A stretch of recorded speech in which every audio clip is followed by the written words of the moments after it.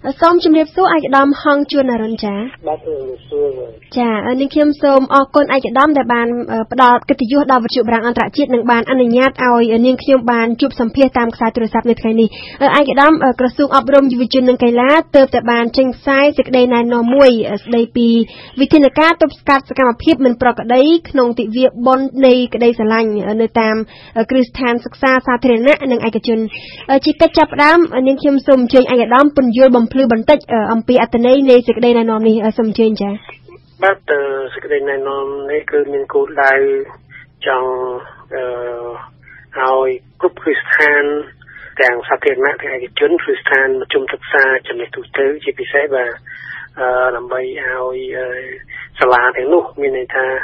ទាំងវិទ្យាល័យទាំងវិទ្យាល័យជាចិត្តទុកដាក់នៅក្នុងការអឺអប់រំដល់សិស្សានុសិស្ស ដោយសារតែជាគេឃើញថានៅក្នុងប្រហែលឆ្នាំចុងក្រោយនេះយុវជនយុវនារីកម្ពុជានេះគាត់រៀបចំប្ររពទិវាប៉ុននៃសេចក្តីស្រឡាញ់ហ្នឹងកាន់តែធំឡើងធំឡើងបាទហើយការប្រពធម្មតានឹងមិនអីទេប៉ុន្តែយើងសង្កេតឃើញនៅ មានលក្ខណៈមួយគឺយុវជនមួយចំនួនគាត់ភ្លើតភ្លើនគាត់ភ្លេចការសិក្សាការគាត់យល់ថាអឺទិវា បុណ្យនៃសេចក្តីស្រឡាញ់នេះគឺជាទិវាមួយគឺថ្ងៃមួយទៅណាត់ជួបដើម្បីមានតំណែងស្នេហាជាមួយគ្នាដែលធ្វើឲ្យប៉ះពាល់ទៅដល់សេចក្តីថ្លៃថ្នូរទៅដល់កិត្តិយសទាំងផ្ទាល់ខ្លួនទាំងក្រុមគ្រួសារក៏ដូចជាប៉ះពាល់ទៅដល់ប្រពៃណីរបស់ខ្មែរផងដែរចឹងហើយបានជាក្រសួងបានសុំឲ្យគ្រឹះស្ថានសិក្សានឹងអនុវត្តនៅបទបញ្ជាផ្ទៃក្នុង គឺថាយើងមានបំជាផ្ទៃក្នុង សម្រាប់គ្រឹះស្ថានសិក្សាដើម្បីឲ្យពង្រឹងនៅវិន័យពង្រឹងនៅសម្ដាប់ធ្នាប់ក៏ដូចជាដើម្បីឲ្យ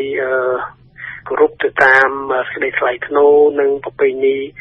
ផងដែររបស់កម្ពុជាយើងតាមចំណុចទី1ចំណុចទី2យើងចង់ផ្សព្វផ្សាយឲ្យបានទូលំទូលាយបាទទៅដល់សិស្សានុសិស្សនឹងជាពិសេស នៅពេលគ្រប់ទងជាតិនឹងដើម្បីឲ្យគាត់យល់ពីអត្ថន័យ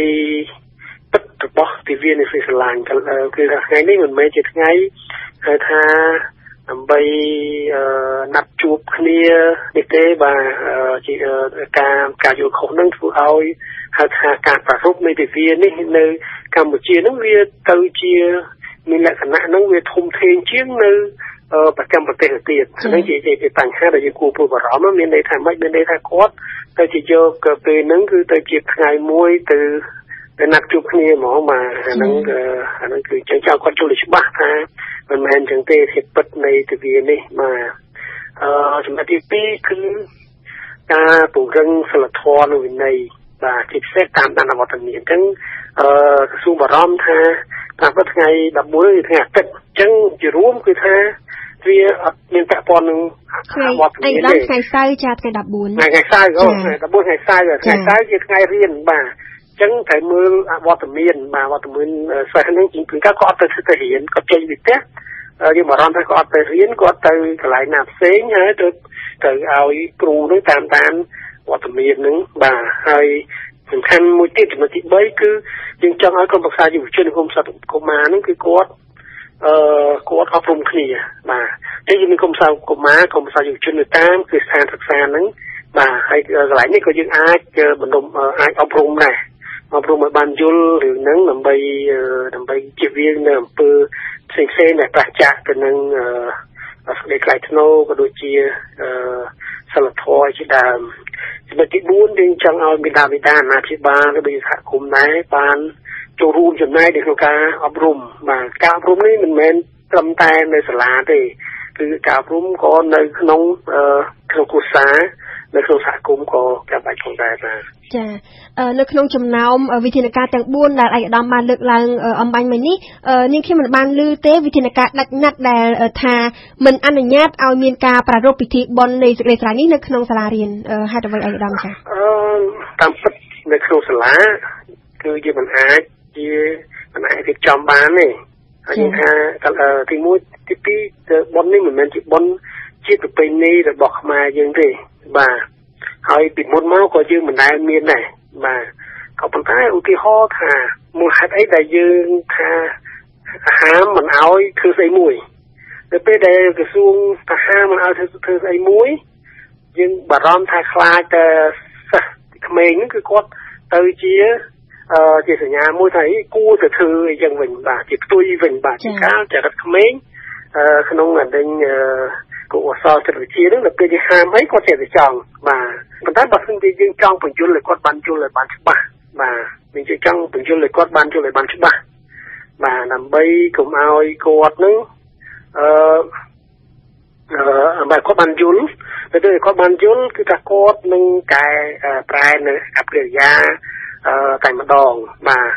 ជារួមដោយសារតែទិវានេះមិនមែនជាអឺស្ថិតនៅក្នុងអឺទិវាដែលយើងប្រារព្ធពិធីបិទយើងប្រារព្ធជារៀងរាល់ឆ្នាំដូច្នេះគឺថាវាមិនអាចគឺថាជារួមគឺថាវាអត់មាននៅក្នុងសាលាទេបាទមូលហេតុអីដែលថាយើងមិនហាមថាមិនឲ្យធ្វើពីព្រោះថា យើងមិនអនុញ្ញាតឲ្យធ្វើតែម្ដងនៅក្នុងសាលាបាទក៏ប៉ុន្តែបញ្ហានៅក្រៅសាលាទេតាមពិតបាទដូច្នេះនៅពេលដែលនៅក្រៅសាលាហ្នឹងគឺយើងយើងពិបាកថានឹងបើមិនយើងប្រាប់ថាហាមយើងត្រូវតែអនុវត្តថាបើសិនជាធ្វើទៅគឺខុសច្បាប់បាទហ្នឹងវាវាអញ្ចឹងអញ្ចឹងយើងអត់មានច្បាប់ថាវាមានច្បាប់ទេនេះនិយាយតាមផ្លូវច្បាប់អត់មានច្បាប់ទេបញ្ហានេះបញ្ហាពាក់ព័ន្ធនឹងចរិយាធម៌ចាអញ្ចឹងបញ្ហាចរិយាធម៌បញ្ហាអឺប្រពៃណី ចឹងបញ្ហាចរិយាធម៌បញ្ហាពេញនេះគឺដើម្បីអនុវត្តបានតើតែយើងធ្វើការអប់រំចឹងយើងចង់យកការអប់រំជាជាងហាមហាមតើតែអឺវាមានចែងនៅក្នុងច្បាប់ថាមិនឲ្យធ្វើហើយធ្វើទៅយើងហាម5បាទនេះនេះចង់បញ្ជាក់ពីពាក្យហ្នឹងបាទបើសិនជាក្រសួងថាលើហាម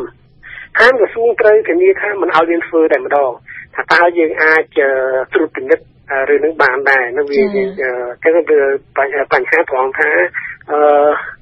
យើងបើយើងដាក់ទៅគ្រាន់តែមកដាក់វាធ្វើវាកើតអានឹងវាអត់មានសុខភាពអីទេអញ្ចឹងបានជាយើងគ្រាន់ថាយកការអប់រំជាជាងទប់ស្កាត់វិធានការមិនប្រក្រតីជាជាងការដាក់ថាហាម5មិនឲ្យធ្វើតែម្ដងដែលវាមានលក្ខណៈជាផ្លូវច្បាប់បាទជាផ្លូវច្បាប់ក្រសួងអត់មាន អត់មានច្បាប់វាអត់មានណាវាបាទចាអញ្ចឹងចំពោះទស្សនៈឯកឧត្តមការហាម5ហ្នឹងគ្មានប្រសិទ្ធភាពដោយការអប់រំទេឯកឧត្តមចាអឺចាអឺមានន័យថាយើងទប់ស្កាត់មិនឲ្យមានភាពបន្តប្តីចាបាទគេអាចធ្វើបានធម្មតាថ្ងៃហ្នឹងសុខរំចឹងមកថាមូលហេតុអីដែលយើងថាមិនអាចថាមិនហាមមានន័យថាមិនពីវាគឺស្រឡាញ់នេះវាជាគឺថាបើសិនជាថ្ងៃនោះបាទយើងគ្រាន់តែ ជួបជុំគ្នាជាមិត្តភ័ក្តិណាក៏បរិយាកាសឲ្យមានការស្រឡាញ់គ្នាមិនឲ្យមានហៅថាសត្រូវឈ្លោះគ្នាអានេះជាការល្អបាទប៉ុន្តែអ្វីដែលយើងអាហ្នឹងមានន័យថាយើងមិនហាមបើសារតែជារួមបើសិនជាគាត់ធ្វើត្រឹមត្រូវវាអត់អីទេចា៎ប៉ុន្តែបញ្ហាគ្រាន់ថាគាត់ធ្វើនេះកែខ្លួនមានកម្មវិធីគាត់វាអត់ត្រឹមត្រូវវាមិនវាប៉ះពាល់ទៅដល់សេចក្តីថ្លៃថ្នូរទៅដល់កិត្តិយសរបស់បុគ្គលតែយើងយើងហាមអា អាអ្វីដែលវាធ្វើឲ្យបាត់បង់នៅសេចក្តីថ្លៃថ្នូរមានន័យថាអ្វីដែលគាត់ជួបគ្នាទៅដើម្បីទៅឆ្លាញ់គ្នាទៅស្អីចឹងឯងហើយយើងយើងហាមយើងមិនឲ្យមានទេប៉ុន្តែជារួមការគ្រាន់ថាពេលហ្នឹងជួបជុំគ្នាគ្រាន់តែបើសិនជាគ្រាន់តែជួបគ្នាឲ្យផ្កាគ្នាក៏អត់អីទេបាទអាហ្នឹងខ្ញុំចង់បញ្ជាក់អញ្ចឹងណាចា៎ក្នុងក្នុងក្នុងន័យនេះវាមានវាមានពីរមានន័យថាបើសិនជាគាត់ធ្វើ